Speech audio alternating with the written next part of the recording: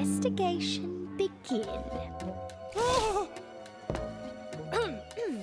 Hey, good morning, student. hmm. Please, play me the song that you are using in the talent show. All right, Mr. Sharp. And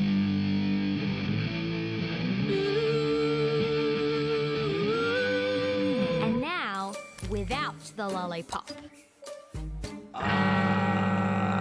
With the lollipop? Without it. Whoa, what happened? Bingo. Edgar, where did you get this lollipop from? Uh, I found it. What? You eat random lollipops you find? Uh, yeah, sometimes. Ew, Edgar. Just ew. But also, it's kind of cool. Uh, thanks, Mr. Shop. Oh, uh, but you've got detention. What? But you said you liked my song! I did. I did like it.